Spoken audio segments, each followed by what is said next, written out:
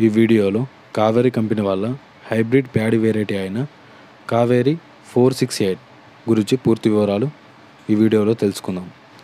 ముందుగా వాతావరణ పరిస్థితిని చూస్తే వరి పంటకి రబీ అనుకూలంగా ఉంటుంది. ఖరీఫ్ కంటే రబీలో ఎక్కువ దిగుబడి పొందవచ్చు. యాసంగిలో స్వల్పకాలిక రకాలను ఎంచుకోవాలి. అంటే తొందరగా పంట చేతికి వచ్చే వరి రకాలను చూసి ఎంచుకోవాలి.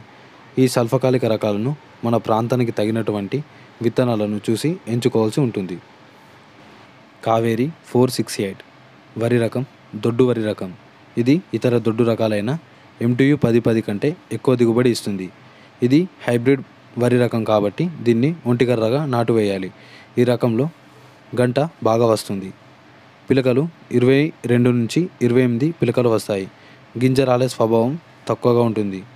అలాగే దీని ఒక్క గొలకి సుమారు రెండు వందల ఇరవై నుండి రెండు వందల ఎనభై గింజలు ఉంటాయి. దీని పంట కాలం వచ్చేసి నూట పదిహేను రోజుల నుండి నూట ఇరవై రోజుల్లో పంట చేతికి వస్తుంది. ఎంటీయు పది పదితో దీన్ని పోల్చినప్పుడు దీని గింజ దొడ్డుగా ఉండి పొడుగా ఉంటుంది. అలాగే ఎంటీయు పది పదిలో గింజరాల స్వభావం ఎక్కువగా ఉంటుంది. గాలులు బాగా వీచినప్పుడు అధిక వర్షాలు పడినప్పుడు గింజలు రాలుతాయి. అలాగే పంట కోత సమయంలో కూడా ఎంటీయు పది పదిలో గింజలు రాలుతాయి. కానీ ఈ కావేరి ఫోర్ సిక్స్ ఎయిట్లో అధిక వర్షాలు పడినా గాలిలు బాగా వీచినా మొక్క పడిపోకుండా ఉంటుంది. అలాగే గింజరాల స్వభావం తక్కువగా ఉంటుంది. కోత సమయంలో కూడా గింజలు రాలవు. ఇది అగ్గి తెగులను దోమపోటును మొదలైన తెగుళ్ళను చీడపీడలను బాగా తట్టుకుంటుంది. కావేరి ఫోర్ సిక్స్ ఎయిట్ దీని ఎత్తు వంద ఐదు సెంటీమీటర్ల నుండి నూట పది సెంటీమీటర్ల వరకు పెరుగుతుంది.